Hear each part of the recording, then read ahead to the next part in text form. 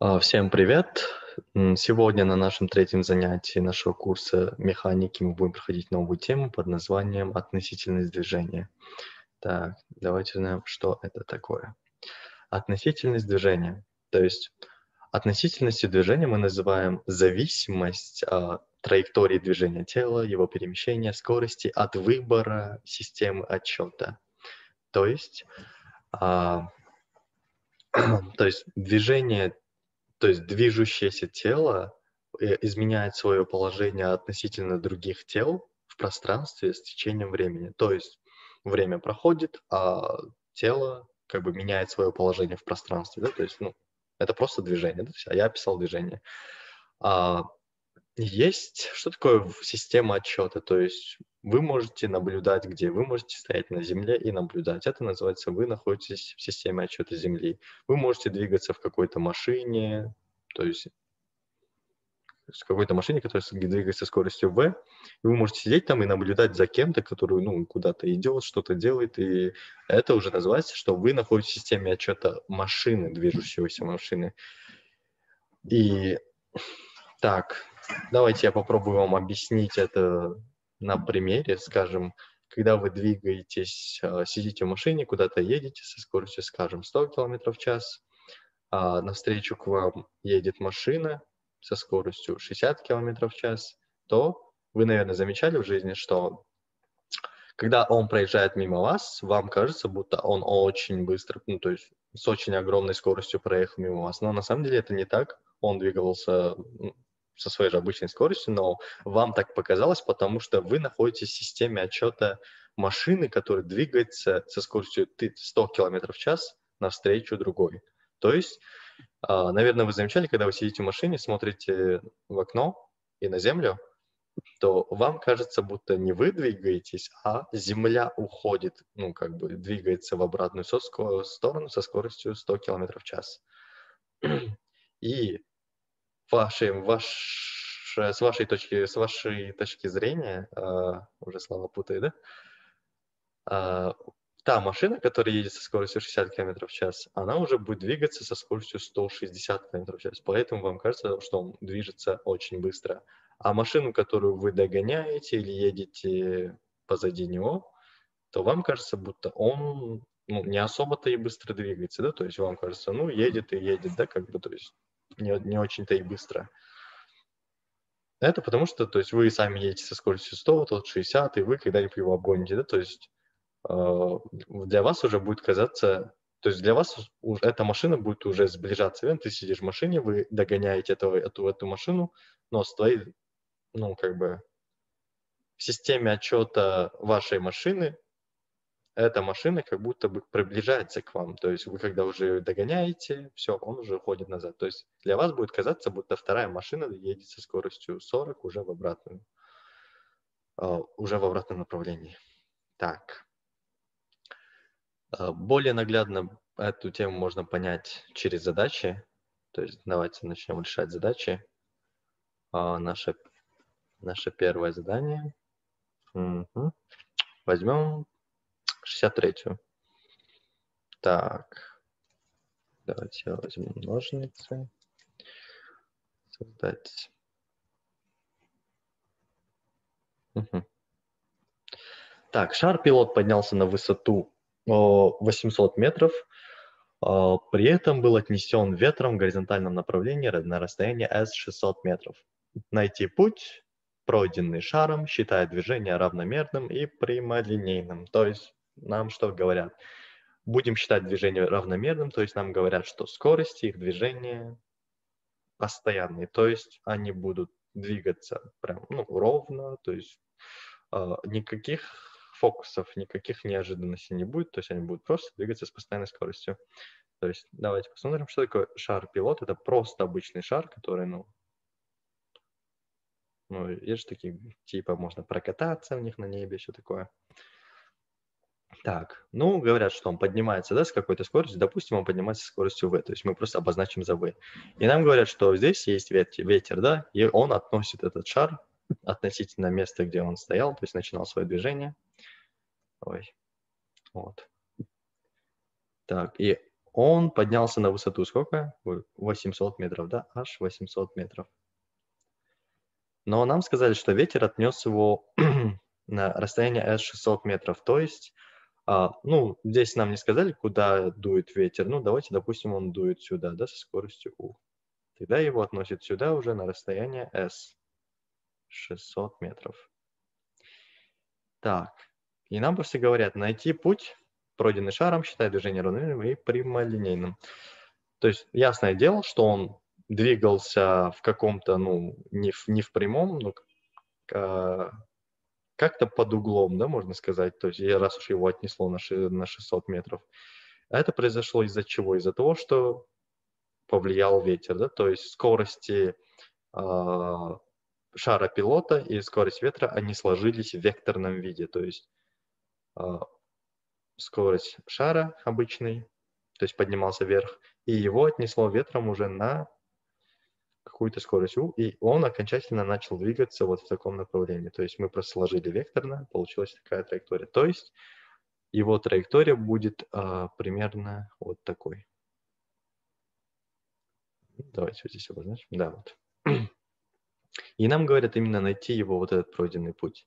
Надеюсь, никто из вас не подумал или не подумает никогда, что э, шар поднялся так, типа он сначала поднялся на 800 метров, потом отнесло его 800, то есть на 600 метров. Ну, такого движения не может быть, да, потому что ветер дул не только на высоте 800 метров, а он дул всегда, то есть. Поэтому у, у него будет траектория, траектория уже в таком виде. А, получается, это у нас просто прямолинейный треугольник. Ой, прямоугольный, прямолинейный. Ах, я уже слова путаю. так, Получается, по теореме Пифагора x квадрат равен s квадрат плюс h квадрат. То есть гипотен... квадрат гипотенузы равен сумму... сумме квадратов катетов треугольника. Так, получается x квадрат x квадрат равно 600 в квадрате плюс 800 в квадрате. Это у нас сколько? Это у нас 360 тысяч плюс 64, ой, 640 тысяч. Это всего дает нам лям метров в квадрате. Получается, чтобы найти x, что мы должны сделать? Чтобы избавиться от квадрата, мы должны обе части уравнения возвести в квадратный корень. Взять под квадратный корень. Квадрат и корень исчезают. Получается, x равно просто 1000 метров. Так, все, мы нашли пройденный путь. Мы даже объяснили, как он двигался. Так, будем двигаться к следующей задаче. Наша следующая задача это у нас, давайте возьмем 69-ю. Угу.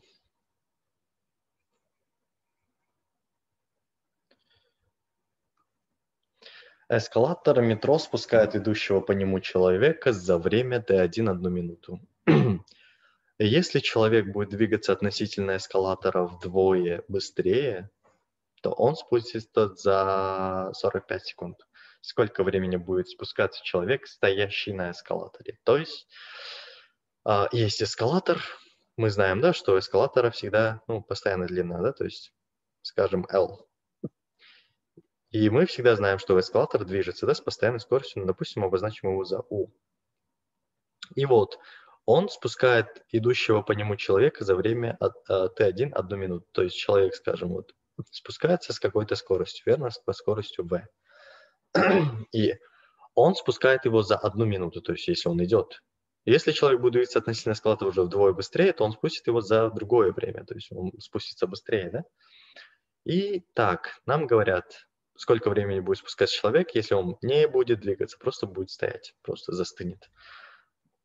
То есть из первого предложения у нас уже сразу можно написать первое уравнение наше. Получается наша L, то есть а, человек пройдет это расстояние, то есть длину эскалатора за время t1, но уже но мы не знаем, с какой скоростью. Да? То есть он сам двигается с какой-то скоростью, эскалатор тоже, но смотрите, если человек и эскалатор будут двигаться в одном направлении, то ясное дело, что человек а, будет, то есть в системе отчета Земли или, скажем, нет, да, ну, система отчета Земли, мы будем видеть, будто человек, ну, очень быстро спускается, да, то есть он и сам идет, и ему еще и эскалатор, да, как бы помогает, типа. Получается, у их скорости можно сложить, то есть v плюс u умноженное на t1. Не можно, а надо. То есть он уже будет двигаться не со скоростью v, а в системе отсчета Земли нам будет казаться, что он двигается со скоростью v плюс u, да? Так, это уже уровень. Если человек будет двигаться относительно склада вдвое быстрее, то есть если во втором случае он будет двигаться в два раза быстрее, то есть он пройдет это же расстояние за t2 45 секунд. То есть 2v уже плюс u умноженное на t2. И нам говорят, сколько времени будет спускаться человек, стоящий на эскалаторе. То есть третье уравнение, у человека уже скорости нет, получается он пройдет это расстояние только со скоростью u, да, то есть со скоростью просто эскалатора, умноженное на t, которое нам надо найти. Так, получается у нас три уравнения и сколько? Три неизвестных. То есть мы должны решить это уравнение как-то. Так, посмотрим, что можно сделать. А, чтобы найти наше t, мы должны найти а, из первых двух уравнений уравнение, которое зависит только от L и U. То есть мы должны избавиться от V, да, потому что ну, нам он не нужен никак. Давайте я распишу первое уравнение уже, то есть приведу его в другую форму. То есть L делить на T1 равняется V плюс U, верно? И из второго следует, что L делить на T2 равняется 2V плюс U. Так, чтобы избавиться от v, то есть это просто можно считать как система линейных уравнений. Давайте я буду избавляться от v. Для этого я умножу первое уравнение на 2. У меня что получится? Уже 2L разделить на T1 равняется 2V плюс 2U. А второе давайте не будем изменять. То есть L делить на T2 равно 2V плюс U. И давайте я сделаю так. Из первого уравнения я буду отнимать второе. Что у нас останется? Так, получается 2L разделить на T1 минус L делить на T2 равняется 2V минус 2V уже 0, да? То есть получается мы избавились от V. Так, дальше идет плюс 2U минус U.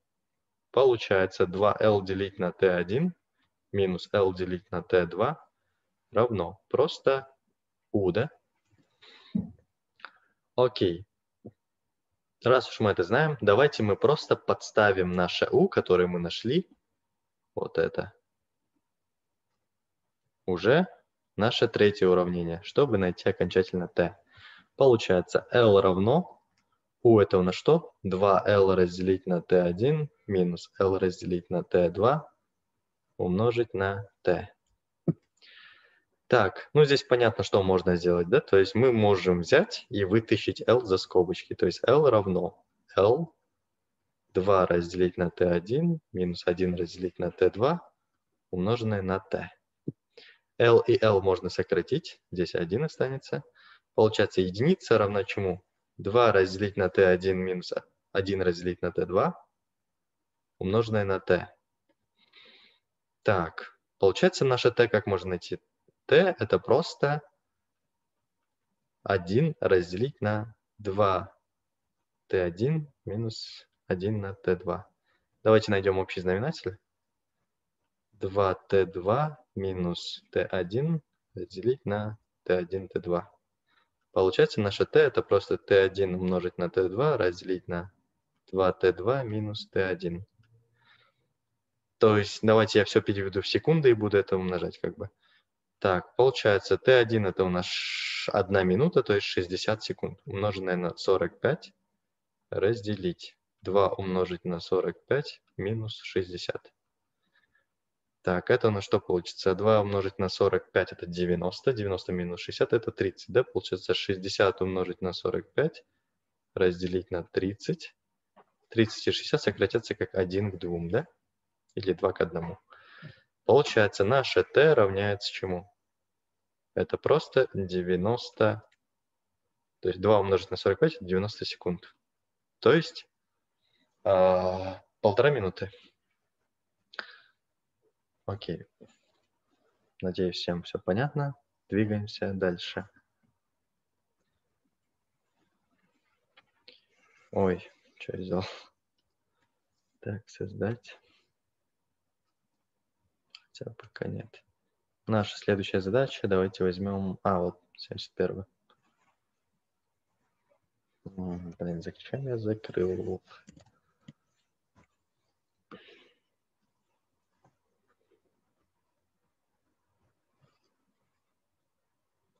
Так, 71. Так, два поезда, э, два поезда идут навстречу друг другу со скоростями V1 36 км в час и V2 54 км в час. Пассажир в первом поезде замечает, что второй поезд проходит мимо него за t6 секунд. Какова длина второго поезда? Да? То есть у нас есть два поезда. Вот первое. И вот там на, навстречу им идут, идет какой-то другой поезд у него, скажем, длина L. И, допустим, вот человек здесь сидит, ну вот здесь, да, где-то вот в какой-то кабине там, не знаю, в каком-то купе там. Так, он первый движется со скоростью V1, а второй со скоростью V2, да? Так. Так, и давайте мы перейдем в систему отчета человека, который сидит в поезде. То есть для него же тогда мир изменится, то есть он просто едет, и для него просто на его глазах весь мир уже движется со скоростью v1 назад, верно? То есть, то есть для него будет казаться, что весь мир туда едет. Но для него поезд уже будет не двигаться не со скоростью v2, а уже со скоростью в новом.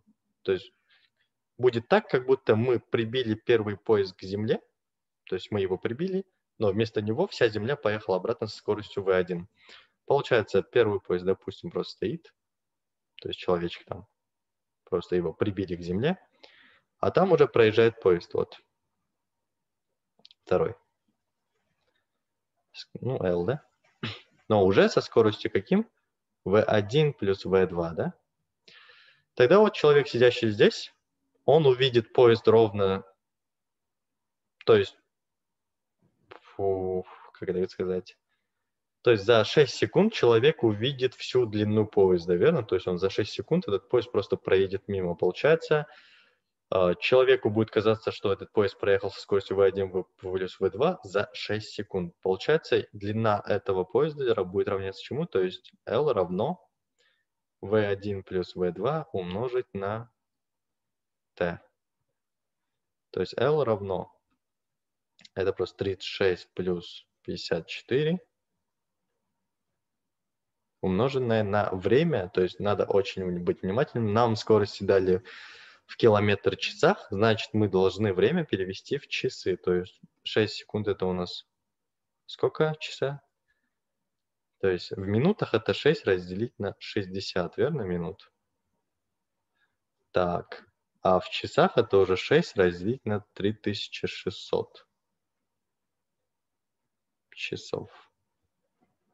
Так, давайте я это запишу. То есть это 6 разделить на 3600. Получается расстояние будет такое. Так, 36 плюс 54 это у нас 90, да? 90 умножить на 6 разделить на 3600. Получается, это 360 на 3600, то есть 1 к 10, да, получается 1 разделить на 10 километров, то есть 100 метров. Получается, наш поезд имеет длину 100 метров.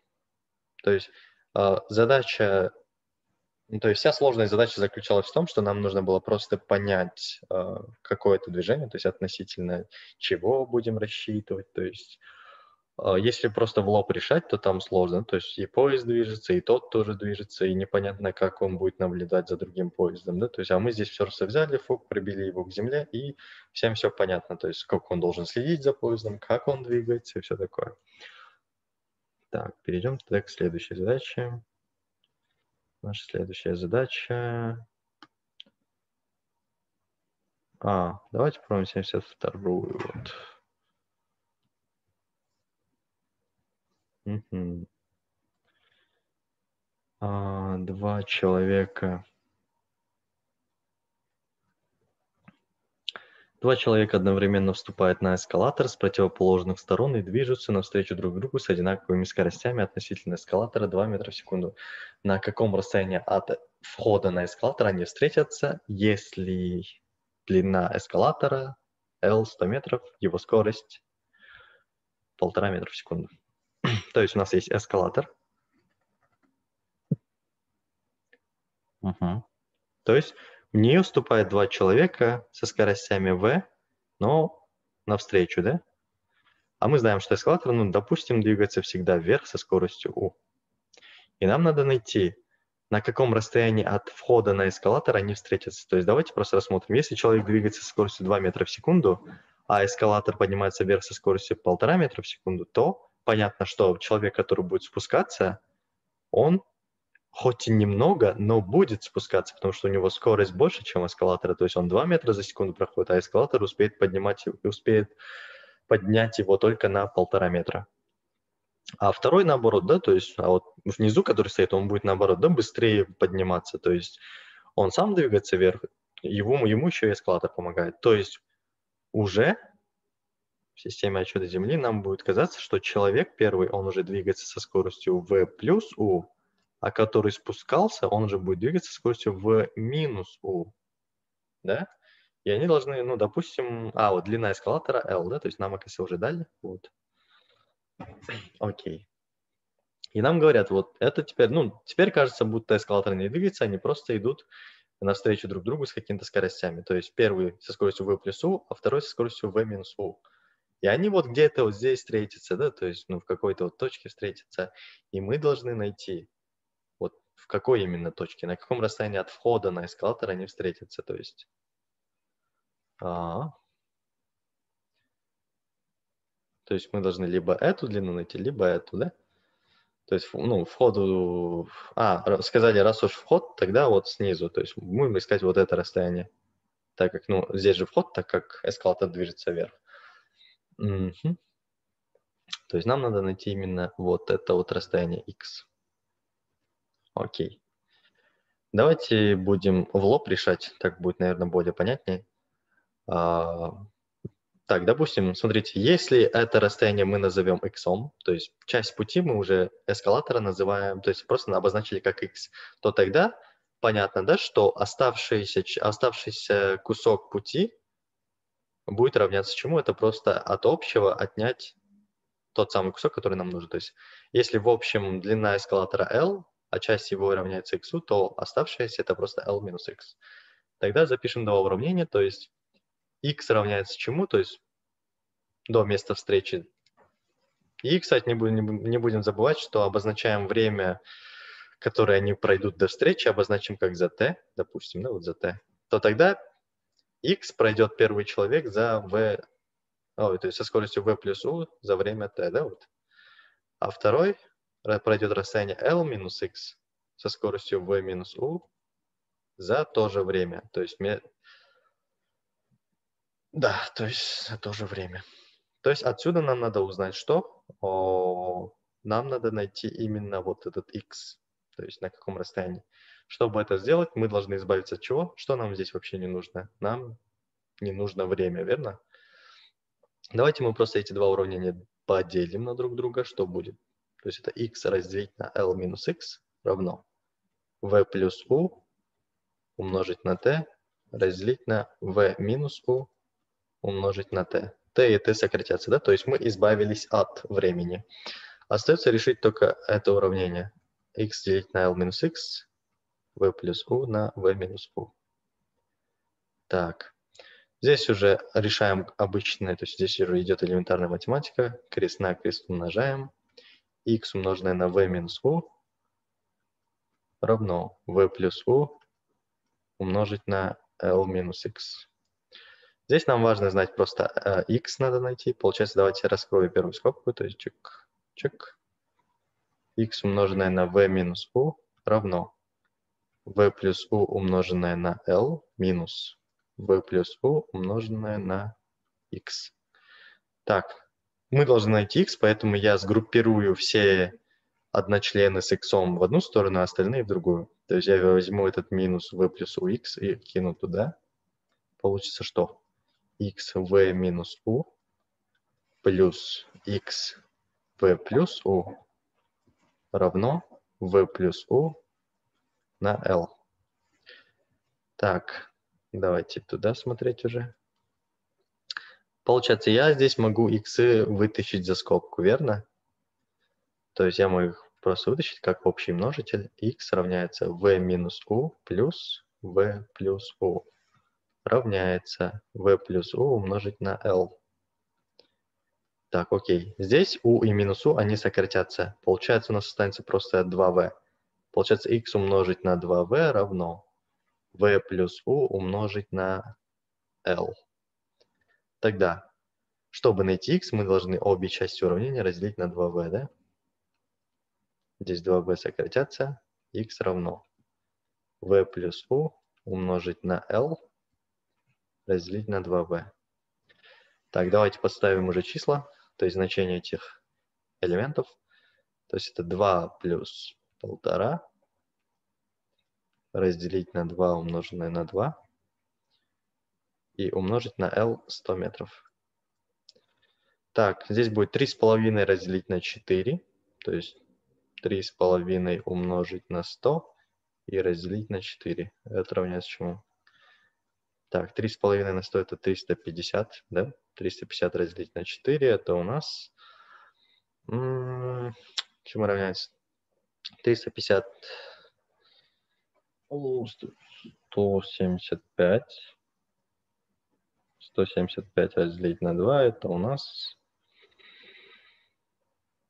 блин. 85, 87 с половиной, что ли? Да, метров. Да, по-моему, так. Да. Так, все. Мы решили эту задачу. То есть все а, и пришло из этих двух уравнений, первого и второго. Так. Давайте решать.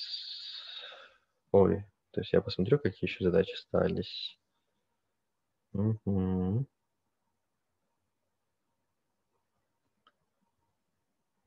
Угу.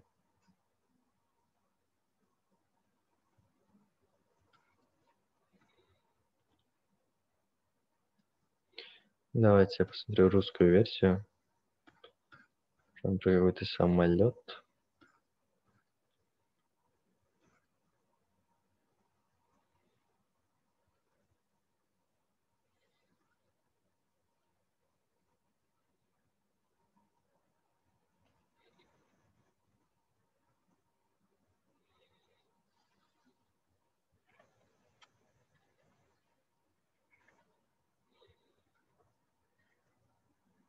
Мгм.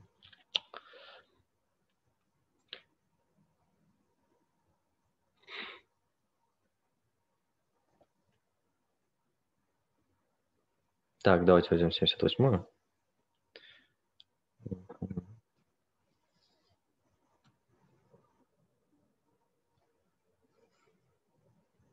Так, интересная задача тем, что... Ну, сейчас посмотрим.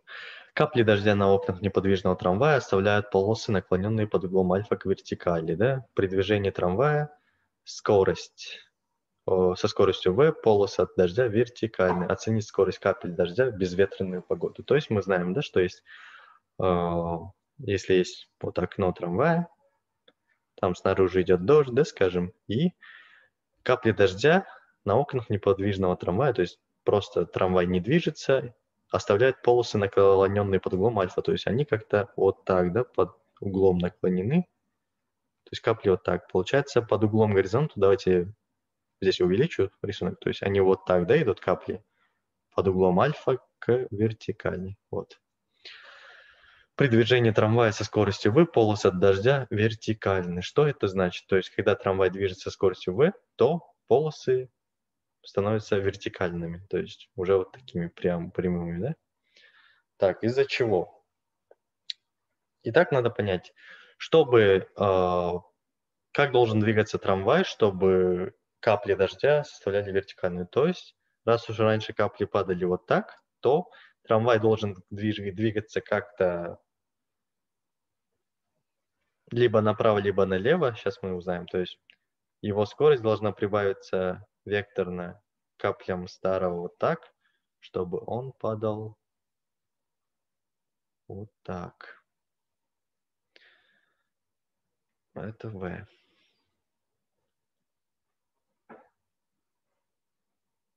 Получается, трамвай должен двигаться скоростью v сюда. Ой, нет, наоборот, наоборот, наоборот, наоборот. Он должен двигаться со скоростью v уже налево. Или, подождите, я походу туплю. Так. Так, раз уж они падают под углом альфа к горизонту, к вертикали так. Угу. Да, то есть трамвай должен двигаться со скоростью направо, со скоростью в это. Извините, я тупанул жестко. А, получается, скорости сложатся, то есть, ну, он всегда, получается, капли дождя, то есть он не двигался, трамвай, и они падали как-то под углом, да, то есть вот. Это скорость дождя, а, то есть капель. И нам говорят, при движении трамвая скорость а, со скоростью v полоса дождя вертикальная, то есть он просто составляет вертикальность. То есть из векторов скоростей мы сложили, то есть построили прямоугольный треугольник. Так, я уже сам не знаю, что я несу, но окей. Получается, как мы можем оценить скорость капель дождя в безветренную погоду? То есть, допустим, допустим, безветренную погоду, как капли падают? Они падают при, прямо вертикально вниз, да, то есть, а раз уж они в, в такую погоду, а, уже двигались каким-то углом, получается ветер, ветер, который сбивал его, то есть каплю, какую-то капельку, который наклонял его, являлся именно ветер, который дует куда, который, допустим, ну, из, из этого вектора, то есть из этого треугольника понятно, да, что скорость ветра должна быть такой же, как скорость трамвая v, чтобы она наклоняла нормальные вертикальные капли под углом, под углом к вертикали альфа. Ох, давайте сейчас формулирую. То есть раньше они падали вертикально вниз, но потом случилось, что э, есть ветер, и они падали уже под углом альфа к вертикали. А когда мы начали двигаться в трам... то есть когда начали двигать трамвай с скоростью v, они обратно нормализовались. То есть э, скорость ветра, который менял направление капли воды, капли дождя равнялся скорости трамвая. То есть из этого треугольника видно, что а, можно также наклонить, а, например, вот падала капля вниз со скоростью, ну, с какой-то скоростью, я не знаю, с какой скоростью он падал. Так, вот, вертикально вниз. И чтобы он а, падал под углом альфа вертикали, скорость ветра должна быть такой же, как скорость трамвая, который нормализовал его обратно к вертикали, то есть такой же вот v. То есть отсюда следует, что скорость капель дождя в безветренную погоду равняется чему? То есть безветренную погоду, допустим, у него была скорость, а, дайте подумать. Просто обозначим его как за что? Давайте v0, да? v0. Из этого треугольника мы можем увидеть, да, что э, скорость трамвая разделить на скорость без капель воды в безветренную погоду равняется тангенсу альфы, да, то есть противоположный разделить на прилежащий. Отсюда понятно, что v0 это v разделить на тангенс альфа. То есть скорость трамвая надо разделить на тангенс нашего угла. Это и дает нам а, скорость капель дождя в безветренную погоду. Уф, сложно было, но мы поняли, да? Окей. А, на этом мы заканчиваем наш урок про относительность. Всем пока, всего доброго, удачи. Так.